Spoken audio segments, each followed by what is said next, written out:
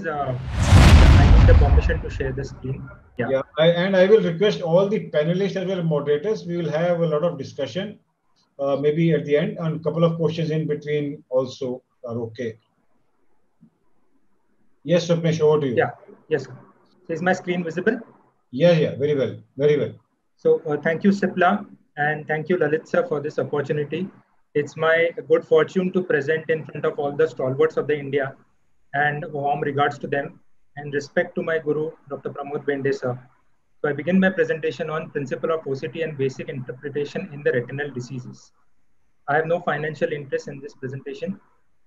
Um, so OCT is the most used diagnostic tool available. It's non-invasive, repeatable.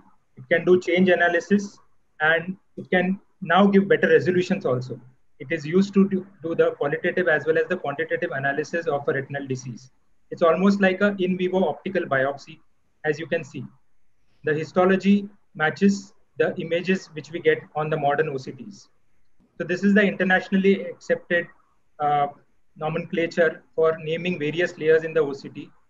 Uh, starting from outside, from inside out, uh, we can see the first as a hyperreflective thin membrane, posterior cortical vitreous, then the pre-retinal space, nerve fiber layer, then the hyperreflective layer of GCL and the IPL complex, then the first hyporeflective layer of the inner nuclear layer, hyper of the OPL, and the hypo layer of the outer nuclear layer. So easier to remember is all the nuclear layers are hypo.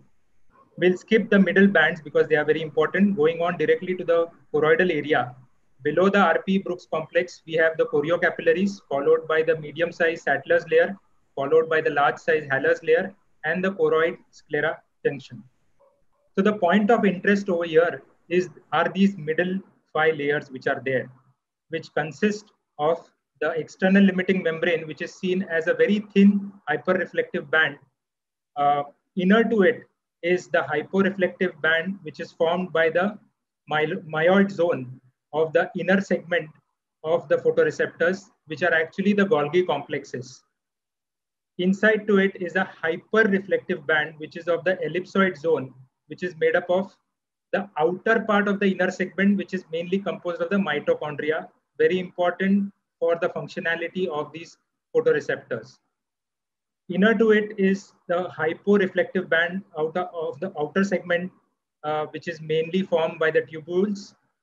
Then we have a very important hyperreflective band of the interdigitation zone between the microvilli of the RPE and the connection between the cones over here. Uh, and finally, we have a very small, sometimes not seen, hypoband of the melanin pigment seen in the inner part of the RPE and the major part, the thick band which we see is actually the RP Bruch's membrane complex, which is identified as the thickest uh, hyperreflective band before the choriocapillary start. So this is very important and most of the pathologies revolve around, around this. Also the pro prognostication depends on how is the health of these five layers. In the evolution of the OCT, we had the first commercial ophthalmic OCT device in 1996 followed by the second generation in 2000.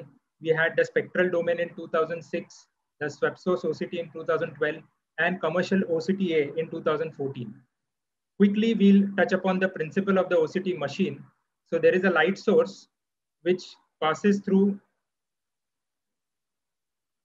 there's a light source which passes through a reflecting membrane which reflects the light to the eye as well as to the reference mirror the rays which are incident on the eye are reflected back and the uh, reference mirror rays are also reflected back. So there is an interference pattern between these, these, two, uh, these two pathways, which is detected by the inter, interferometer. And there is an interference pattern which is generated, which causes a A-scan signal to be generated. Now, uh, SD-OCT and SS-OCT are newer versions of the same thing, wherein in the older time domain OCT, the reference arm was movable, caused a lot of artifacts. In a SD OCT, the reference arm is static, and also the interferometer is, is now changed to a array, array of detectors. So that improves uh, the acquisition. In swept source OCT, the light source itself is new. So you have a longer wavelength. Also, this helps the patient because it falls in the in invisible spectrum. So the patient is not disturbed while taking the OCT image. So these are the particulars of each time domain, spectral domain, and swept source OCT, where you can see the swept source OCT uses a tunable laser 1050 nanometers. Hence, it has a higher number, uh, it has faster speed of uh, acquisition of the A scans per second, almost 1 lakh to 4 lakhs. And axial resolution has almost remained the same. But the important thing is imaging of the deeper structures is better with the swept source because the wavelength is more penetrable. The newer versions are coming, which are ultra high resolution OCT, ultra wide field OCT, also a Doppler OCT, but that's beyond the scope of this presentation. So coming to the basics again, uh, once we have a wavelength, uh, a wavelength of a light hitting an ocular structure, we get a A scan, which all of us know similar to a A scan of uh, uh for the which is used for the cataract. The B scan of the OCT is different than the B scan of the uh, ultrasound imaging, which we use uh, to image in a MATCAT or a vitreous hemorrhage patient. Here, the B scan in the OCT means that a multiple set of A scans are put together and we get a 2D image of the B scan, which is shown in this diagram. Now, once this B scan is arranged in a stack, we get a volume identification of that particular tissue structure, which is also called as C scan and when we look at the C-scan from the top, we get the en face image of that particular area. So A scan, when we stack up the A scans together, we get a B scan. And when we stack up the B scans together and we look from the top, we get what is called as a en face OCT image, which is also important in the interpretation of these diseases. So these are the common protocols which are used a raster scan, which is essentially a series of parallel line scans that can be oriented in any angle and they give a very high resolution. Radial scan consists of 6 to 12 radial line scans and they are important because they give uh, the orientation of the lesion with respect to the fovea. And the most commonly done, which is the macular cube scan, which uh, uses the raster scan mode in a 6 by 6 square millimeter area. We also have a 3D scan, which is can be used for the patient education purpose, which is essentially the volume scan which we spoke about. So it gives a better understanding to convince a patient for the surgery and to explain the disease to him. So this is how a typical OCT printout looks like. The most important thing is the patient ID number, the patient name, the examination date, and uh, the signal strength. The signal strength should be at least seven, and we'll come to the factors which affect the signal strength. Uh, this is a LSO image, a line scan ophthalmoscope image of the uh, retina, followed by the thickness map. And uh, these are the OCT B-scan images which are seen. Uh, refractive errors are auto-corrected. And this is the ETDRS circle, which is uh, one millimeters, one millimeter diameter, three millimeter diameter, and the six millimeter diameter circles. And the color coding, as we all know, the hot colors represent an area which is more swollen up. These are, this is the normative data which is uh, available. Uh, you routine range of the central subfield is usually 220 to 270 in the Indian population.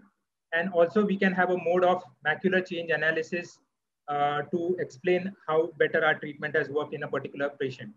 The newer OCT machines have uh, high definition scans just to uh, enumerate some of them. We can also have uh, something like a smart cube if it is difficult for the patient to fix. There is an inbuilt software called as Fovea Finder. So it helps in imaging. Uh, with the en face image, we can even image the, the lower part of the retina and the choroid. And the en face imaging now can be segmented at various levels, namely the vitreoretinal interface, the mid-retina, the ISOS junction, as well as the choroid. So the normative database typically in a Zeiss machine is consisting of 18 to 84 years, and there is a ethnical distribution which is comprising of all over the world.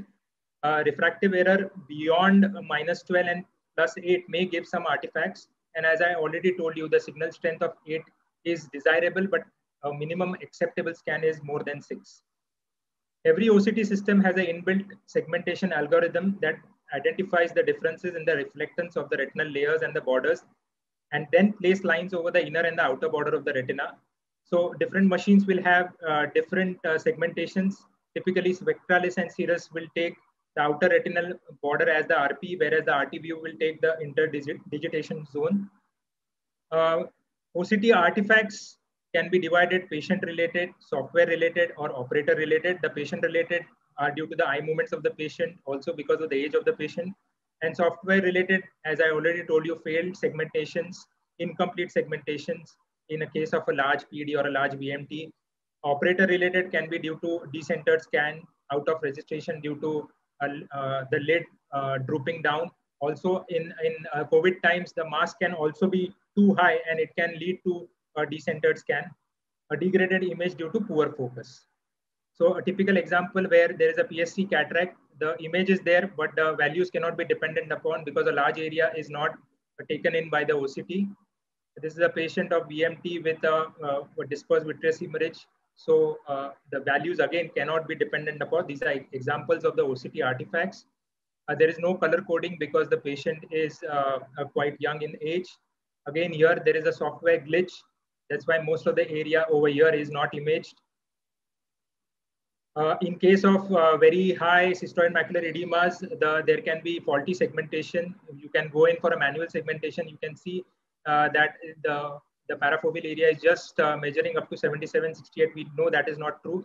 And when this edema settles down, we actually get good segmentation and identification of the inner and the outer borders.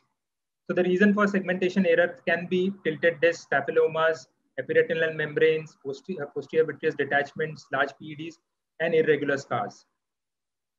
So coming to the uh, common retinal diseases, uh, so vitreomacular interface consists of vitreomacular adhesion, VMT, and full thickness macular holes. So by international classification, the definition of VMA is perifoveal PVD with a posterior cortical vitreous attachment within 3 mm of fovea if there are no secondary changes in the contour or within the retina. So, and further it can be classified into focal, broad, isolated, or concurrent. So OCT helps us to image this VMT beautifully and explain to the patient when is the need for surgery and when we, we can wait and watch. It essentially is a VMA with structural changes inside the retina, namely pseudocyst, maculoschisis, CME, SRF, neurosensory detachment, but there is no full thickness interruption of all the retinal layers. So this is a typical example where OCT in case of very bad traction can actually help us surgically to plan where to introduce uh, are uh, scissors or uh, high-end cutters to create a plane behind the posterior hyaloid. Macular hole, all of us know the OCT staging of macular hole, very important to monitor this patient.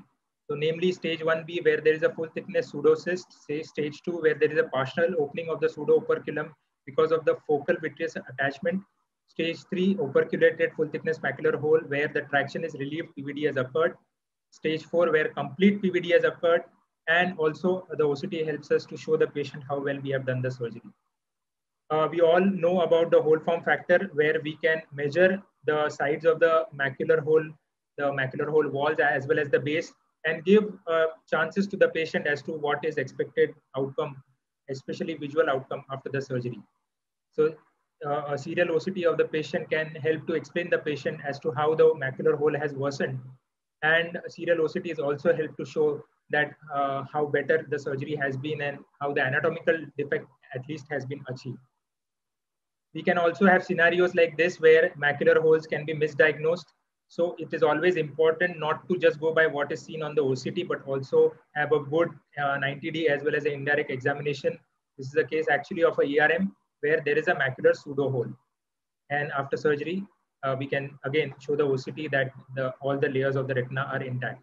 There can be few macular hole mimics in this case. So very important, I've shown this slide to show that uh, both the eyes should always be imaged. This is actually a case of PFT where uh, indirect ophthalmoscopy examination reveals that there is graying around the fovea and uh, another example of PFT which can uh, mimic a macular hole. Also epiretinal membranes, it's very good to show to the patient that uh, this is a epiretinal membrane and we need to operate. But uh, the surgeon should be aware that though he has done a very good successful surgery, the OCT may not be looking that convincing because it may take about three to six months for the OCT to come back to normal and he may require some injections later on also. So OCT is a very useful tool, but it has to be uh, taken with a pinch of salt and explained to the patient wherever it is necessary. Uh, diabetic uh, retinopathy, very important. Uh, uh, OCT is a very important tool to plan your treatment. So this is the OCT-based classification of the DME, diffuse retinal thickening, second uh, CME-related diabetic macular edema, posterior hyaloid traction, subretinal fluid, and trans, tractional retinal detachment. A typical case where you have diffuse retinal edema, and in this case where there is CME center involving but you can also show the patient that your hard exudate clump is lying bang in the center of the fovea. So the visual prognosis is not very great in this patient. Uh, this is cystoid type of DME where the angiographic picture shows the, the petaloid leakage and the OCT supports the same. Uh, DME with neurosensory detachment shows the role of steroid in this particular case where it is going to help us. So Manish, can we finish it off? Yes. Uh, the tractional retinal detachment and the artifacts because of the uh, asteroids. And this again highlights the hard exudates over here. The newer terminologies like DRIL, uh, where there is a disorientation of the retinal inner layers, hyperreflective foci, which show the inflammatory uh, origin of the DME uh, process. This is again one of the cases where it was a diabetic patient, but in the end he had a RAP lesion. So OCT helps us to uh, tide over various pathologies in, in the single retina. This Is a PED of uh, uh, related to the RAP. The OCT delineates various features. Type 2 classic CNVM over here. So the fluids in the AMD, uh, our treatment of the AMD is based on the intraretinal as well as degenerative, uh, as well as the subretinal fluid which we see pachychoroid spectrum, uh, our newer pathologies are based on this particular terminologies where OCT is a major important marker and uh, diagnostic as well as prognostic marker. This is a typical OCT of the PCV where you have M-shaped uh, PED, choroidal polyp, also a double layer sign. Double layer sign is very important in today's scenario where it can pick up either a pachychoroid neovascular membrane versus a chronic CSR is basically uh, the RP splits into two. Uh, RP rip can be nicely imaged based on the OCT. We can pick up pachydrusens, reticular drusens. Uh, outer retinal tubulations are a poor negative biomarker in the AMD treatment, which can be picked up with the modern OCTs. This is a pre-choroidal cleft in my patient where uh, he had a chronic CNVM and we treated and the pre-choroidal cleft actually persisted. It is also a severe against the RP rip outer retinal corrugations. It is based on the histology of the basal infoldings. Again, a poor marker in the AMD process, multi-layered PED, where it shows that uh, this patient has already received multiple anti-VEGF injections. Uh, SHRM, uh, we can prognosticate. We can do an OCTA to see whether this is vascularized or non-vascularized. Uh, common errors in the CME interpretation can be due to optic disc pit. As you can see in this patient, this can be misdiagnosed as CME and OCT can pick it up. This is pre-operative and this is post-operative, which is nicely seen that the uh, optic disc pit has been resolved and you have achieved attachment of the peripapillary retina. Also helpful in the vascular disorders where uh, inner layer hyperreflectivity is seen. The last few slides. Uh, SRF can have different presentation in CSR as well as VKH. In CSR, you can pick up the PEDs. ELM identification disruption is very important in photic and toxic retinopathies. EDI, uh, we, if we had time, we could discuss about EDI, which is possible in the modern SD OCTs as well as swept source OCT, where the zero delay line is shifted downwards and we can image the choroid. Very important in pachychoroid spectrum also. And but there can be diurnal variation, and studies are still out as to what is normal thickness and what is normal choroidal volume. Newer terminologies like IRORA and CRORA are coming up to prognosticate our patients. It is a negative biomarker. So in conclusion, it is OCT is an important study tool and a research tool. It is most cost-effective high-end diagnostic machine in your setup. One needs to know his own OCT machine very well. And newer technologies like Octa will improve our understanding. It can be a perfect tool for patient education combined with a, a forum like uh, uh, the Zeiss platform, where you can show the FFA, the OCT, the autofluorescence, and multiple visits together to convince a patient how his treatment is going forward. Thank you very much and sorry for the delay.